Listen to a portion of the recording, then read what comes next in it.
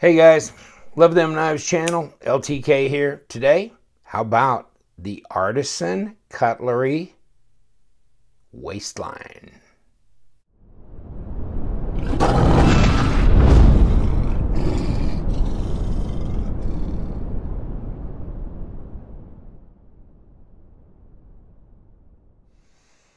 Hey guys, I picked up this waistline from Artisan Cutlery Knives, and you know what? It is the crazy Quaking, isn't it? It is very, very radical looking. It's a big knife. You know, they don't make this in a small version yet. Hint, hint. It'd be nice. I think there's some guys that would probably like that. But it is strange. It is really strange. I mean, its arch is so far back you know, it's not really flat. Uh, that's really crazy. In any case, very thin bl blade as far as, you know, height goes. It's a flipper. The blade just disappears into the uh, into the handle, although you can see the back of it. So, hmm, but what are you going to do? That's probably the best they could do with this particular design. Looks like you've got a titanium right hand or left hand pocket clip.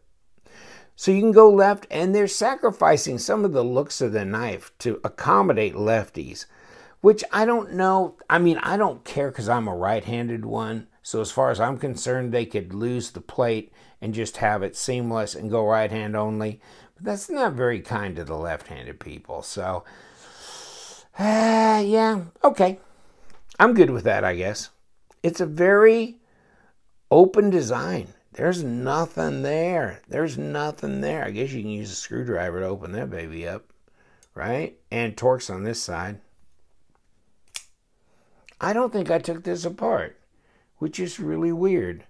Uh, it's got ceramic bearings on the pivot, though. I know that and it's about a 25% lockup. It's got hardened steel insert in here. And, well, let's check if there's an over travel stop. Oh, yeah. Yeah, there is. Okay, so it's got over travel stop. It's centered. It flips really good. It really does. And, oh, yeah. Woo. Yeah, the action on this is really good. It doesn't have a lot. I mean, it's not real heavy detent. So, eh, it's about a five on the detent scale. But I'll tell you what, that's just easy. That is easy. And you know what? Even though for stylistic purposes, they didn't give you a whole lot of pass through here, did they? Right in here. But it's not that difficult to disengage.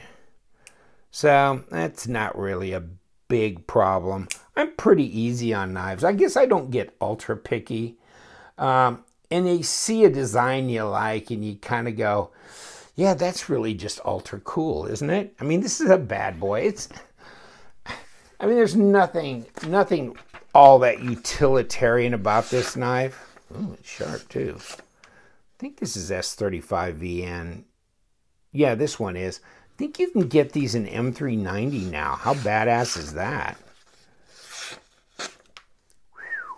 Okay, you think piercing might be one, uh, you know, one thing it could do? I think. Yeah, I think.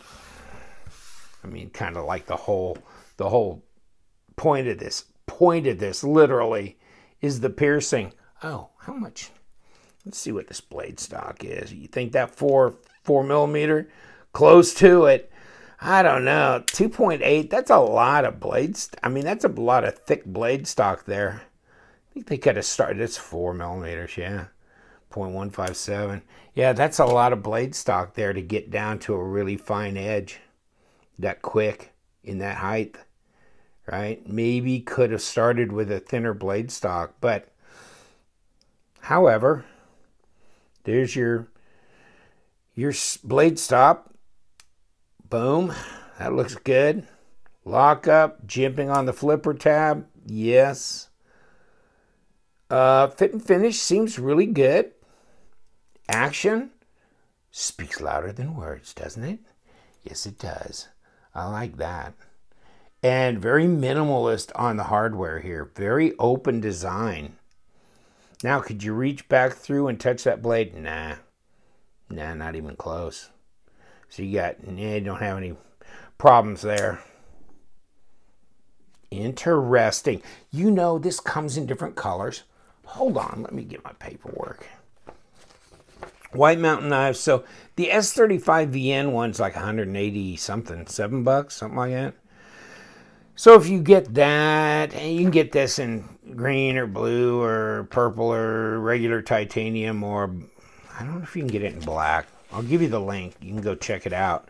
Um, 180 something minus 10% because, you know, White Mountain Knives, LTK is your discount code for 10% off. So I'd give you almost 20 bucks off. So, well, you'd probably be in the high 160s, maybe 170.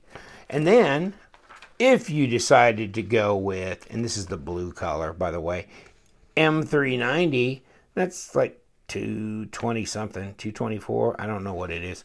But, you know, eh, so it'd be right at 200 with the M390 version.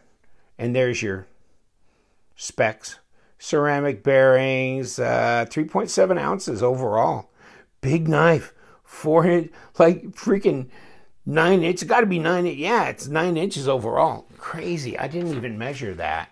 Oh, by the way, inspiration was, you think? I mean, check this out.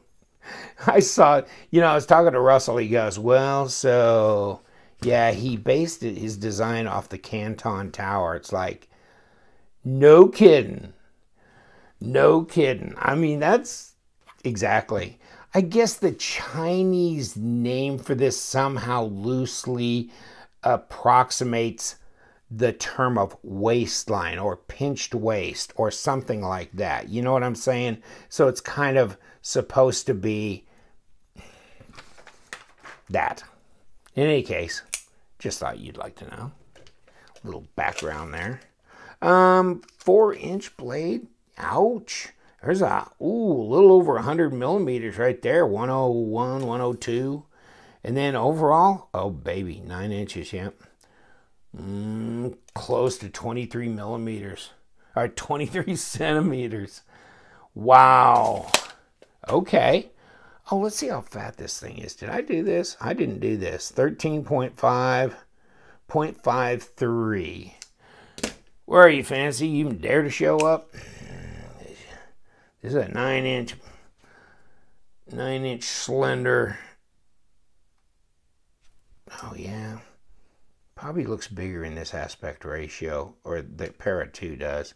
Para 2 just looks all kinds of tall, thick, big compared to this. This is very slender in the hand. It really is. Wow, man. The action on this is really good. I mean, that's that's flipper toy status right there. Look at that. Just follows you around, drops in. Wow. Watch it. Wow. Click. Centered. No lock rock, no blade play on this. Yeah. Be easy to take apart and put back together. You only got that and that. And you're done. And you're done. Oh, by the way, you can get these. I, I happen to get, I got this crazy thing uh, from White Mountain because I was just kind of interested in the carbon fiber version.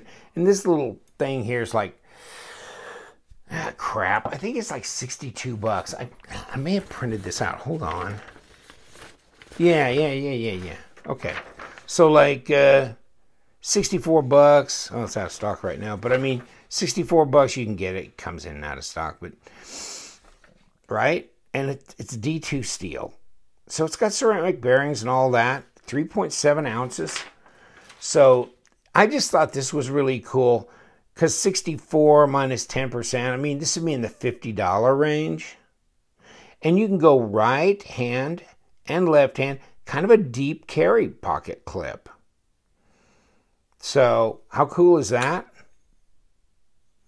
Yeah, and The pass-through is real obvious on this right here because it's a liner lock. So, and you got to shake that one down. But that is interesting, isn't it? But that comes in a box like this. Where this one comes in that metal box inside the big black box and the zipper pouch and all that, the microfiber cloth and whatever, you know, that kind of thing, paperwork.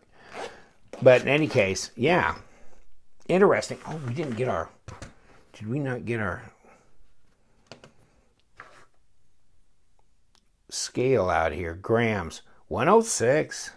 I mean, for a 9 inch, I mean, it's a true 9 inch knife. 3.7 ounces, so it weighs the same as the paramilitary 2.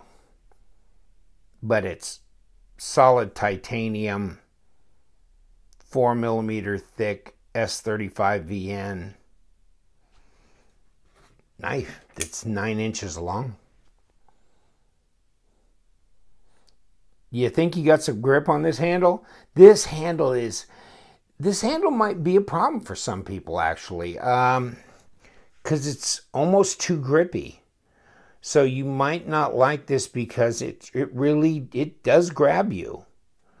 So I, uh, you know, as far as ergos go, it's okay. Although you know you got to just understand that it doesn't fill your hand up as much as a taller scale does. You know, this one is so thin It's only 0.68 inches. 17, and you come out here. So 0.65, you know, as you drag back here, 0.73.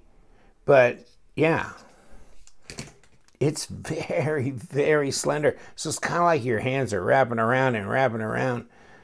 But it does have 0.53 out here. So it's, you know, you can get a hold of it. Reverse grip, uh, really almost more comfortable, tell you the truth. But there's a lot of room on that handle. How big is that damn handle? If you got big hands and you like this Kwaiken style, well, it's not quite five inches. That's weird. It, it seems huge. I mean, look how much extra room I've got back here. Wow. In any case, it does have a choil up front, so sharpening shouldn't be a problem. Yeah. The waistline. Get wasted. Waistline in titanium. Waistline in carbon fiber. Uh, waistline, I believe in G10 too. Take a look online. I know they got the carbon fiber and the titanium.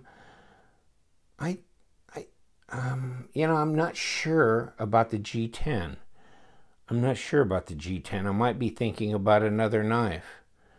Um, yeah, I might be thinking about the Shark in G10. So take a look uh, because no, I, I can't remember off the top of my head now. It's been a while since I looked for the G10 model.